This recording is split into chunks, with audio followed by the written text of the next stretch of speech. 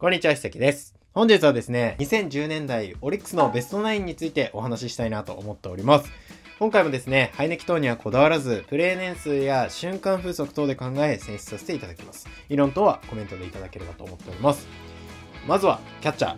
今回は伊藤光選手を選出したいなと思っています。DNA オリックスで選出させていただきます。現在ですね、3年連続100試合以上出場し、2019年は盗塁阻止率3割7分1厘で、パリーグトップとなった若月選手と悩んだところではあるんですが、プレー年数や攻守のバランス等を考え、伊藤光選手を選出したいなと思っています。11年に出場試合を増やし、打撃では課題、また怪我もあり、定着とはならなかったんですが、12年も多くの試合に出場。リード面を指摘されることもあったんですが、西選手のノーヒットノーランをリード。13年には正捕手に定着し、打撃でもアピール。オールスターにも出場し、14年には多くの試合に出場しながら、規定到達とはならなかったんですが、金子千尋選手と多くバッテリーを組み、ベストバッテリー賞。さらにベストナインゴールデングラブも獲得。首位ホークスを最後まで追い詰めながら、直接対決で敗れ、優勝を逃した際には号泣し、多くのファンの心を打ちました。しかし、15年以降、リードの指摘が多く、若月選手の台頭もあり、1軍出場は減りました。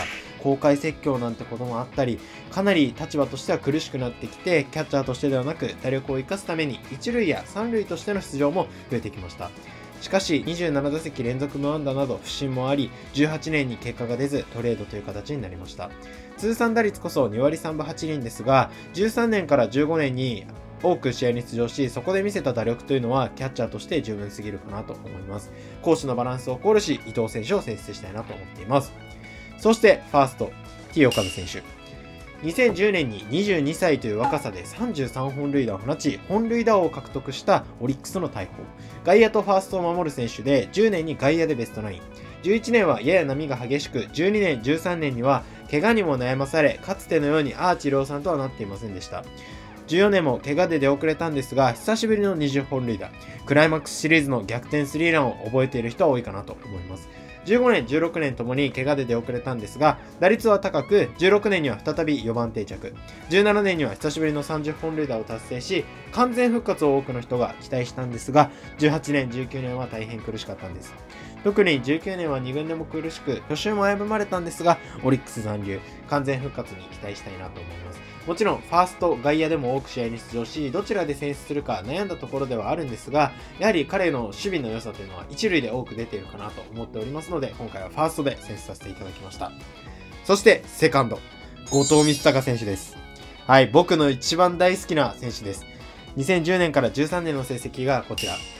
2010年、打力とアクロバティックな守備でフル出場し、3番としてチームを引っ張りました。村が激しく、ボール球のスイング率も大変高い選手ではあるんですが、とにかく花があって、悪球打ちの選手。ホームランバッターではないんですが、ツボに入ると本当に大きいホームランを打つんですよね。かっこよすぎる応援歌とともに、個人的に NPB の中で最も好きな選手です。2011年は43試合連続出塁で打率3割1分2厘と好調。しかし12年には不調にも悩み数字を落とすと、13年は平野圭一選手の復帰や足立選手らの二塁起用などもあって試合数が大きく減りました。その後楽天にトレード。平野選手や西野選手、さらには今では福田選手がセカンドを守るんですが、彼が数字を落とし定着から外れてからなかなかセカンド固定というところができていません。実動としてはそこまで長くはないんですが、打撃、守備等でレギュラーを掴んでいた彼をベストナインに選出したいなと思っております。そして三塁。ここはやや悩んだんですが、バルディリスを選出したいなと思っています。ラロッカやヘルマン、さらに小屋の選手と悩んだんですが、4年連続100試合以上に出場し、さらに2桁ホームランを放ち続けた彼を選出したいなと思っています。阪神から移籍し、2010年には規定打席には到達していないんですが、打撃で結果を残すと、11年には飛ばないボールながらチームトップの18本塁打、12年はリーグトップの2塁打を放つなど、長打力を武器に長期的に出場し、安定的に成績を残し続けてきました。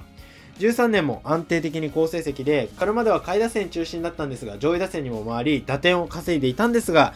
契約がまとまらず DNA に移籍となりました。12年には16失策とエラーもありましたが、2桁ホームランを計算できるサードとして活躍した彼をベストナインに選出したいなと思っております。そして、ショート。大引選手と悩んだんですが、出場試合数の多さを考え、足立選手を選出したいなと思っています。打力では全体的に課題があったものの、14年の首位争いの際には143試合に出場し、OPS7 割を記録。失策も多かったんですが UZR22.2 で12球団トップ翌年も26.1、14.8、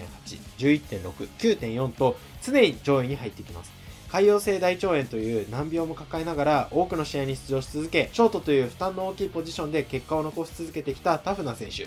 19年には怪我や体調不良などもあり、出場試合数を落とし、大城選手がショートを守ったこともあって、三塁を守ることもあったんですが、彼の守備走塁は現在のチームでもトップクラス。2桁ホームランを放ったこともあるパンチ力も秘めている選手、大引選手もチームを支えたショートではあったんですが、彼を選出したいなと思っています。そして、外野1人目。まずは、糸井選手。3球団での選出とさせていただきたいなと思っております。オリックスにトレードされ、13年以降の成績がこちらでございます。はい。14年には首位打者ベストナインゴールデングラブを獲得。その年にはですね、ソフトバンクの選手が全員高打率だったこともあり、こんな風にも言われておりました。糸井選手と銀次選手がなんとかソフトバンクの高打率の中に食い込んでくれたっていうのは記憶に新しいかなと思います。まあ、15年には打率を落としたんですが、16年には再び3割を放ち、さらに53盗塁で金子選手と同数で盗塁を、さらにゴールデングラブも獲得。もう日ハム阪神のところでもお話ししてきているんですが、走攻守全てが揃った外野手。16年以降はやや守備が苦しくなってきた部分はあるんですが、強肩というところは NPB でもトップクラス。10年代を代表する外野手かなと思っておりますし、オリックスで残した実績も本当に大きいかなと思っております。そして2人目、坂口選手。2010年に2年連続3割を達成し、3年連続ゴールデングラブを獲得した俊足高打の外野手。11年には3割を逃したものの、フルイニング出場し、最多安打を獲得。高い出塁率でチャンスメイクし、守備も安定感抜群で4年連続ゴールデングラブ。しかし12年、ダイビングキャッチで右肩の脱臼、さらに人体断裂の大怪我。驚異的なスピードで回復し、13年に出場したんですが、不振、そして腰を痛め、規定打席には届きませんでした。14年には優勝争いの中、多くの試合に出場したんですが、川端選手らと共に左右で併用起用。しかし、得点圏で勝負強さを見せ、チームの2位に大きく貢献してくれました。15年には肘の怪我等もあり、試合数を落とし、オフには減俸提示、本人が自由契約を申し入れ、対談。後にヤクルト入りが決まりました。坂口選手はその後ヤクルトで大活躍しておりますし、オリックスとしては、まあ、俊太選手らが守っているんですが、なかなかその後センターを固定することができておらず、やはり彼の対談というのも大変痛かったかなと思っております。そして3人目、吉田正尚選手。1年目から多くの試合に出場し、2桁ホームランを放った強打者。腰の怪我にも悩み、2年連続で好成績ながら出場試合数を落としました。そして腰を手術し、18年には万全のコンディションで1年間戦い、3割20本、そして OPS9 割超えという活躍。主砲として大活躍し、19年の開幕前には日本代表で出場。そして満塁ホームランも放ちました。19年は開幕当初不振を極めたものの、中盤以降にはかなり多くのヒットを積み重ねることができ、終盤には森友哉選手と首位打者争いを演じました。獲得とはなりませんでしたが、月間 MVP を2度獲得。プレミア12にも出場。オリックスの手法に成長した彼を選出したいなと思っております。そして DH。ここが結構悩ましいんですが、今回はイデホを選出したいなと思います。2017年に加入し、3年間で69本塁打を放ったロメロとなりました。ただ、彼は怪我に悩まされることも多く、今回は 2, 2年間ほぼフル出場で、高打率をマークしたイデホを選出したいなと思います。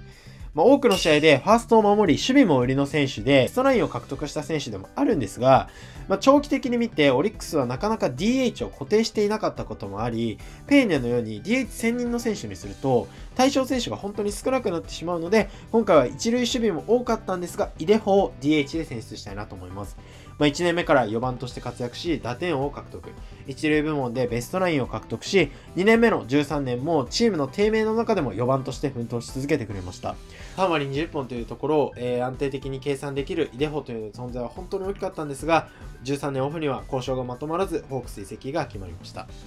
そして、投手、先発、ここはこの人しかいません。金子千尋選手です。彼の実績がこちらでございます。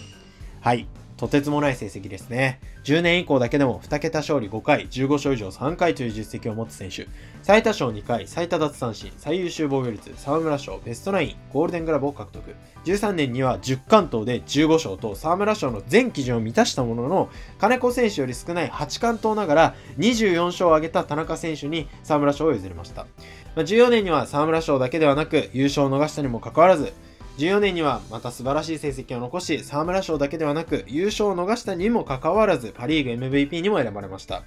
ちなみにこの年、巨人戦で9回無安打無失点投球を記録しながら援護がなくノーヒットノーラン達成を逃しました。まあ、この年 FA だったこともあり、4年かける5億円の超大型契約を結んだんですが、14年オフに受けた手術の影響で、15年は乱調や登板回避も目立ちました。16年以降はやや四死球も増え、好不調の差が目立ち始め、17年に復活の2桁勝利を果たしたんですが、大型契約後の成績は振るいませんでした。オリックスは18年オフに憲法提示し、本人が自由契約選手として申し出、ハムに移籍しました。ただ、金子選手という絶対的なエース、彼の実績、そして瞬間風速も素晴らしく、文句なしで選出したいなと思っております。そして、中継ぎ。まあ、瞬間風速だけで言うなら、14年の優勝争いに大きく貢献した佐藤達也選手かなと。彼の貢献度は本当に大きかった。13年以降の成績がこちら。11年にプロ入りし、1年目から1軍で登板し、2年目の13年に大ブレイク。圧倒的な直球でご利用し、セットアッパーとして大活躍し、最優秀中継ぎを獲得。奪三振率も10.15。オールスターでのこの画像を覚えている方は多いかなと思います。14年の優勝争いでは、岸田選手やマハラ選手らと共に強力な担ぎ陣を引っ張りました。優勝争いを繰り広げたソフトバンク相手に1年間通じて無失点など2位に大きく貢献した選手。平野選手が終盤失速したこともあって彼の安定感が目立ったシーズンでした。しかし、国士気味の起用の影響か、15年には腰痛、16年も乱調、17年に引退されました。そんな彼も選びたいんですが、10年代に5シーズン連続60登板以上を果たし、クローザーとして大活躍した平野選手を選出したいなと思っています。